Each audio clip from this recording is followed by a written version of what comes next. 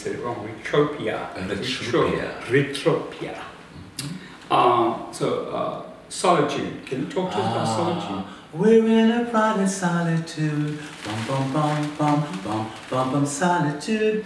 It was a song that was going to go on the jazz album, Yeah. and it was a it had a very Latin feel to it, and I was feel, feeling very Gilberto Gil, that kind of Yes. flavor. Yes. And um, for some reason, it didn't end up on there. And it was something that, you know, I thought myself, why did we not put it on? It was like, and when I was trying to get some tracks for the album, I wanted something that was obviously uniquely different, Mhm. but also that I could also have some, some real percussion, some real guitars. Mm. And um, something that I do like, I do like Latin music as well. You know, Yes. um, it's kind of close to the Caribbean with calypso and steel band, and it has that kind of thing. And I wanted something that would be within all the other records, a sort of an interlude track, an Mhm. interlude track that basically, when you're sitting down having a glass of wine or champagne, in my case, you know, something that's really cool and also uh, a different influence, you know, because I feel that the Retropia album has different genres of music Yes. styles, but it's still I'm singing it. Yeah. But with with um, Solitude, um, a kind of a Latino expression. Mm, mm. Well, it's interesting you said about different styles because it leads me right straight to what I was going to ask you about next, which is an ACDC song, Highway to Hell. And I had to kind of check my CD, but I was like, oh dear, they've- you know, something's happened here. They must have, when they were mastering the CD, they obviously, is this Leee John? what is this? Because it, it, it was a little like, whoa. So, what, I, I was just going to ask you, like, why did you pick that? Nothing wrong with it. It's just kind of, it's different. It is. I mean, uh, that's what I like. I've always been edgy in my expression and my musical taste, but not always. And in your And in videos. my videos, always different. But I've never always done it on CD, well, CD, vinyl, whatever. I, Yeah, I yeah. haven't always had that time to show it. And I was working with this this artist, and actually, the artist that did the album cover, his name is uh, David Lalou, but he's also known as Redito. He has a team of people. So if you look inside the album, Yeah. there's all these little sort of uh, Yes. graphic things, and Yes. he's an ex, he's, uh, he's an expressionist. He's an artist expressionist. Yes. And we were in his studio, and we were doing a project, funnily enough, with the Gibson brothers. Hmm. And the Gibson brothers, um, were great friends of mine, Yes. and uh, they did Cuba and all that, and, and Yeah, yeah. And um, we were talking about some songs to do, and I was saying that I want to do something different for the album. And he started playing the, a few different things, and I thought, oh, ACDC. I said, yeah, but I got to, I said to him, I need to do it Lee's way, with a tinge of the gospel going, "Highway to hell." Give a little bit of something else, but edginess, you know, living easy, living free. And um, I almost sounded a bit like Tina Turner at one point, and they were saying, no, Yes, no, I know. keep that, keep that, keep that's really cool, you've got to keep that. And, but I liked it because I thought it was like, it reminded me when we're in a room and we're just jamming, and it was just a, a free musical expression. So we Yeah. were there just doing it. And it just came out, highway to hell, and, and, we said, let's put it down. And I thought, that's taking me back to how I really started in music. Really? Very basic. All the, all the percussion stuff is all boxes and all different shakers Yeah, yeah, and yeah, stuff. And then we took it and took it into another studio to master it, but not refine it greatly. I wanted to keep it very raw. Yeah. Um, and, and, and that's what you get.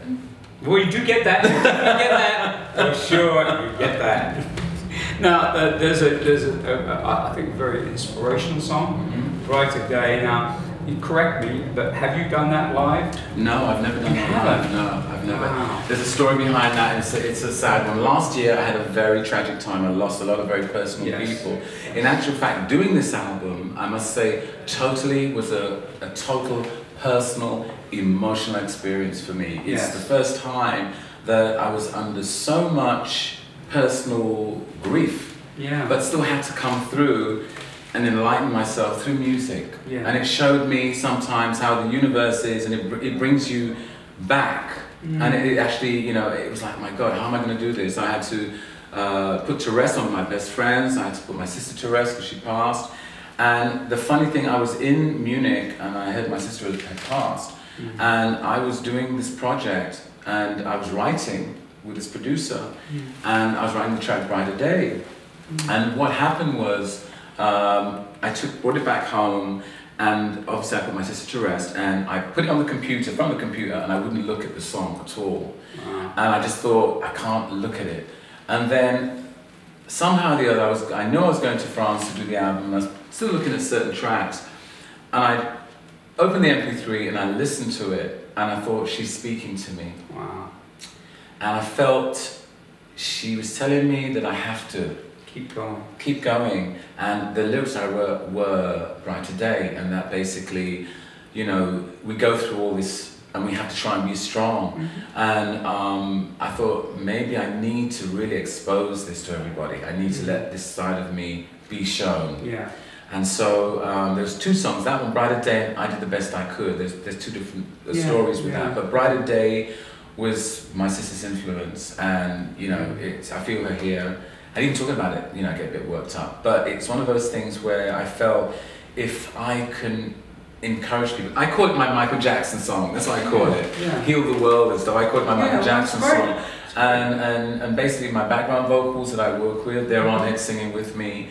And it's, it's the first time I've done that kind of song in a very, very long time that, you know, I think could be inspiring, inspiring Yeah, very much. Very, yeah. and very much. That is, you know, that is very much how it comes across. Mm. Yeah, it's great. It's great. Mm. Well, good that you did that. yeah, yeah. I, you I also think that what you just referenced is really important because what people, you know, music, you know, can be used for many different things. But one of the things it absolutely does provide for people is healing. Yeah, and that's what I felt with Brighter Day. I felt I need to heal myself. Exactly. I probably need to heal others. Exactly. And there are people in the same place as me. And there are people that have supported me and given me my career, Absolutely. definitely. So I feel we have to have that communication. Yeah. When they write me or email me and say, Lee, you know, this song means something to me, I can actually say, well, it, it did to me. That's why I wrote it, you yes. know. Yes. And I must say, um, the the co- co-writer with me um, was very helpful. It was he, he just knew what I was going through, this turmoil, but we plowed through it Yeah. and we did the song, you know. So it was uh, another. I think I was very tested, put to the test, Yeah, yeah, because sometimes you have life so free and it's so easy and everything's woo, And then- and then all of a sudden, bam, it hits you Yeah. and uh, and then I had to really show how I could maintain it, and it's given me more inner strength. Good. Mm. Good. Well, I, I know we don't have a lot more time, so I'm going to ask you: Is there another song that we haven't talked about that you particularly want to? Well, I can go through everything. I know you could. Okay, Fantasia. Is there one in particular? There's Fantasia. Fantasia was a 12-inch single in the early 90s under another name, and I Oh. redid it. It had an NWA loop yes. under it, and all the hip hop and, and DJs used to play it. So everybody's been asking me for years, whatever happened to this track? It's a white label. I had a different name, Johnny X, Yeah. underneath it, or I called it Kermichael, which is my middle name. and you know, so I thought, you know, maybe I'll redo this one because people wanted to hear it. So that was one, and the other one uh, is Make Your Mind Up. Now, Make Your Mind Up has a long story. Make Your Mind Up is my homage to say Ashford and Simpson because I love their music for so yeah. many years Yes. Yes. and it's got this huge gospel. Make your. It's got that you know Yes. uplifting feel to it. yes. This song we wrote, I think, in 1984. You're joking. 1984, Oh 85. my I wrote it with Toby Baker. Toby, 1984. yeah, Toby Baker and I wrote this track, and it was going to be for an Imagination album. Toby's written with Chaka Khan, Yeah. he's written with Anita Baker, he's, he's done so much stuff, Yes, many different people he's worked with. And we're great mates. I call him the union leader because he's, he's very funny. And um, he kept saying to me, Lee, we've got this song, you know, and you've never ever used it. We got a deal from it. I got a the deal, uh, one of my imagination albums. We got a deal for BMG, but because of that song, And yet, and yet we went to America. We recorded in uh, in Los Angeles and New York and Chicago and um, Philadelphia, and that song got put in the drawer. But I used to sing it on stage. So fans all over around the world knew the song. Hmm. And when I do it in shows, people think, you know, I did a show recently for 20,000 people in France, Wow. and everybody thought they knew the song.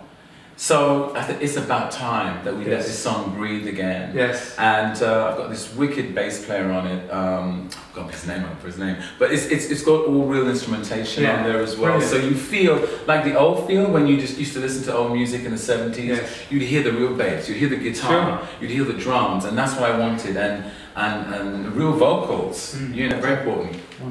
Okay. On the Retropia album, there's a few other tracks I'd like to talk about. Yeah. Um, my good friend Mike Lindup from Level 42. Yeah, yes, yes, yes. We did a duet of the Stevie Wonder song Visions. Visions. I've actually seen you do that live. I think. Yes, you have. Yes. You have. And we actually filmed a video together, Yeah. and uh, the proceeds go to SOS Children. Oh. Um, we did it for a particular uh, SOS Children village in Zambia. Oh, Um, so we have a really Brilliant. nice video, and I think on the September the 21st there will be the launch of the Retropia website, www.retropia.co, Okay, good. good. and you'll see a lot of, of videos. We have some bonus tracks on the album. Uh, a special version of Just an Illusion because Mm. people have been asking, and I, you know, I got about 3,000, 5,000 million versions, and I get fed up with them. So no more illusion mixes, please. And then there's a, a track called The Truth. And The Truth I'd done for a greatest hits, and it never got the light of day, so I kept everything back, including the video. Now it's the time for it to breathe. And so you will see the new video, and we have a different version of The Truth Mm. on, on, the, on the album, because also it's very meaningful. I think it's that people will identify to the track, because I think everybody reaches that pathway in their life where they think, you know, I want the world to see Yeah. it's me. It's Yes. about time. You know, I've been given, and, and, and the truth in the lyric has that. And then there was a track I had called Crash with a K, Mm. um, and uh, it's, it's very funky. It actually takes you back to, say, the Sly and the Family Stone, Prince, Nice. that kind of vibe to Yes, it. yes. So I think I've kind of got a kind of total, yeah, packaging there. And there's one track my very, very best friend who passed was listening to a couple of weeks before he went and called. Um, I did the best I could. I did my best for you, and uh, we do it in our show. And uh, a lot- of people have kind of graduated towards this song because the lyric is, you know, I've done all I want, done everything I've done in my life, but you know, after all of it, I really did it for you. Yeah. And I think that's a great way with this, in, with this interview to say, I've done this album for everybody. I did the best I could. I did my best for you. Oh, that's lovely. Well, I do have one final question. I know that was a great ending. Okay. I just want to ask you, you know, so you've been making records Mm.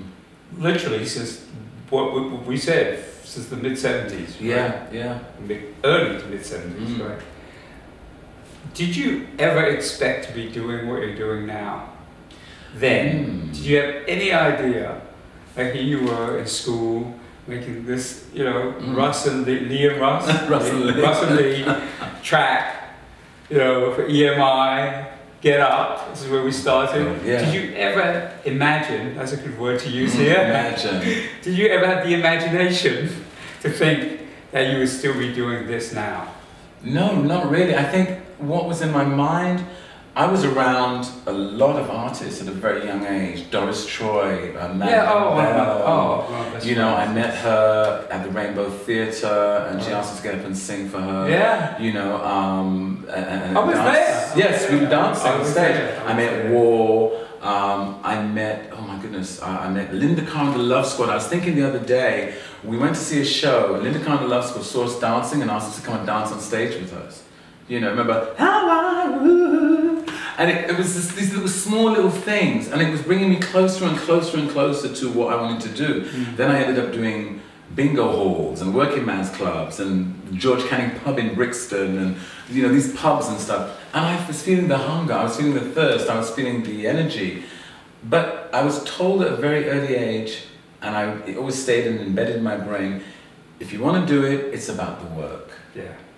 It's not about being the star. The star is something that you can create quite easily because, as my song says, it's an illusion. It's, a, it's about being the, the worker, putting the time in, creating, Mm. you know, and that stayed with me.